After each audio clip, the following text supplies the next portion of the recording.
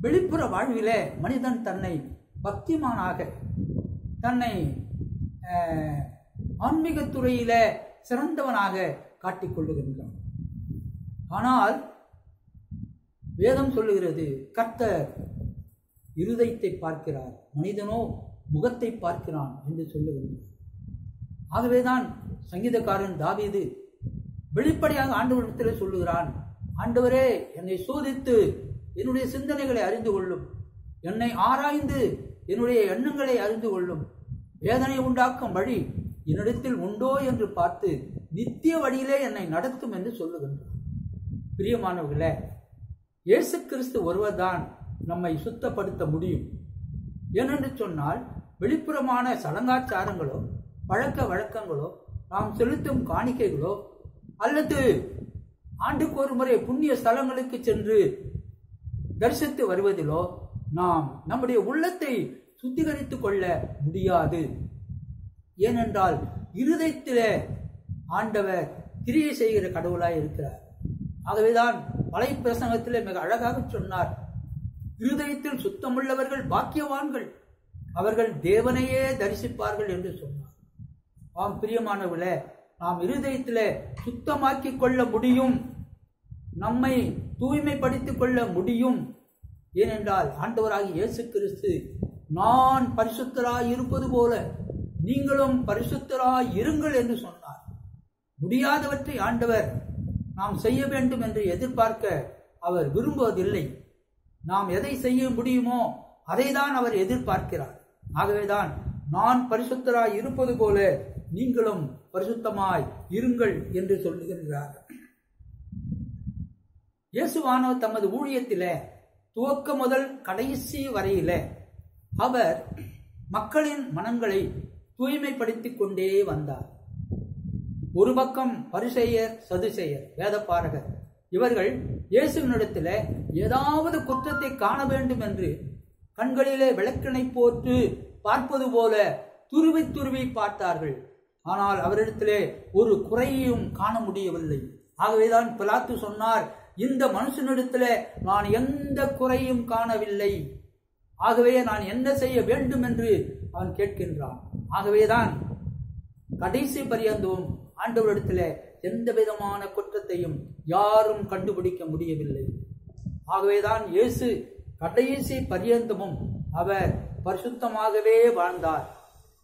அந்த பரிசெயர் சரிசரிக்கிற அவர் நீங்கள் உங்களை மாற்றிக்கொள்ளுங்கள் என்று சொல்லுகின்றார். அப்படிப்பட்ட துணிவு ஆண்டவருக்கு வந்தது அதை பிதாவானவர் கொடுத்தார். நீங்கள் செய்வது சரியல்ல.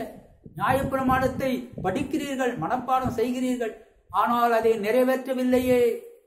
நானோ அவைகளை நிறைவேற்றவே வந்தேன் என்று சொல்லுகின்றார். இயேசுவானவர் செய்த மிகப்பெரிய துணிச்சலான காரியம் என்னவென்று சொன்னால் ஏழைகள் ஒடுக்கப்பட்டவர்கள் திக்கற்றவர்கள் அனாதைகள் விதவைகள் இப்படிப்பட்ட மக்களை தூக்கி விடுகின்ற கடவுளாக. அவர்கள் செய்கிற தவறை அவர் சுட்டிக்காட்டி நீ போ இனி பாவம் செய்யாதே என்று சொன்னார். இனிமேல் நானும் உன்னை தண்டிக்கவில்லை என்று சொன்னார். நீங்கள் இனி பாவம் செய்யாதீர்கள் என்று சொன்னார். எல்லா கட்டத்திலேயும் அவர் மனம் திரும்பியவர்களை மன்னித்து அவர்களை விடுதலை செய்து முழு மனிதர்களாக மாற்றினார். பிரியமானவர்களே எனக்கு மிகவும் பிடித்தமான இறையல் கருத்து இந்த கருப்பொருளிலே என்னவென்று சொன்னால் ஆண்டவராக இயேசு கிறிஸ்து சீஷர்களை பக்குவப்படுத்துகின்றார். பக்குவப்படுத்திக் கொண்டே இருக்கின்றார். அவர் சீஷர்களை நீங்கள் என்னை பார்த்து கற்றுக்கொள்ளுங்கள். என் வாழ்க்கையை பாருங்கள். நான் எவ்விதமாக வாழுகிறேன் வாழ்ந்து கொண்டு இருக்கிறேன் என்பதை நீங்கள் வெளிப்படையாக பாருங்கள். இரவும் பகலும் ஓயாமல் என்னை பாருங்கள். நான் பாவம் செய்ய மாட்டேன். ஏனென்றால் பரிசுத்த மனிதனாக நான் சிலுவையிலே மறித்தால்தான் அந்த இரத்தத்தை சிந்தினால்தான் எல்லா மக்களுடைய பாவங்களும் மன்னிக்கப்படும் என்று சொன்னார். சில வேளைகளிலே சீஷர்கள் இதை புரிந்து கொள்ள மிகவும் கடினமாயிருந்தது. அவர்கள் கடைசியிலே இயேசுவானவர் ஜெபிங்கள் என்று சொன்னார் தூங்கினார்கள். இயேசுவானவரை காட்டிக் கொடுத்து அழைத்து செல்லும் பொழுது ஓடிவிட்டார்கள். ஆனால் அதே சீஷர்கள் மறுதளித்த பேதுரு போன்றவர்கள். இயேசுவானவர் உயிர்த்தெழுந்த பிறகு கண்ணார கண்டார்கள். வேத வாக்கியங்களின்படி அவர் மூன்றாம் நாள் உயிர்த்தெழுந்தார் என்பதை நேரடியாக பார்த்தார்கள். பார்த்தவர்கள் அசந்து போனார்கள் அதிர்ச்சி அடைந்தார்கள். பேதுரு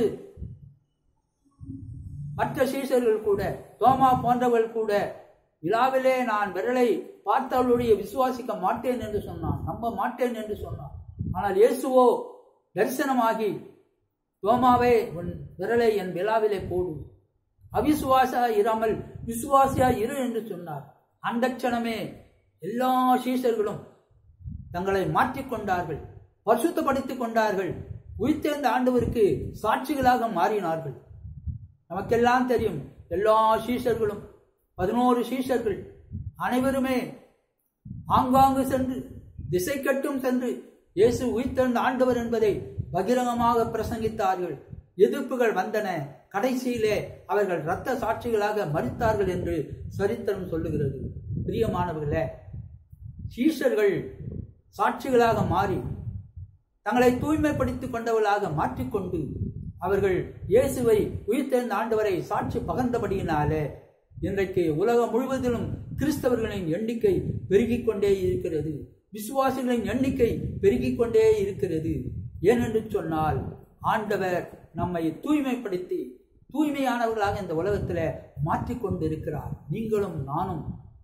நம்முடைய பாவங்களை அறிக்கை செய்து அதை விட்டு விடுகிறோம் என்று சொன்னால் இயேசுவானவர் மன்னிக்க தயை பெருத்திருக்கிறார் நாம் பாவங்களை அறிக்கையிட்டால் பாவங்கள் எல்லாவற்றையும் மன்னித்து நம்மை சுத்திகரிக்க அவர் உண்மையும் நீதியும் உள்ளவருமாய் இருக்கிறார் என்று ஒன்று யோவான் ஒன்று ஒன்பதில் மிக தெளிவாக பார்க்கின்றோம்.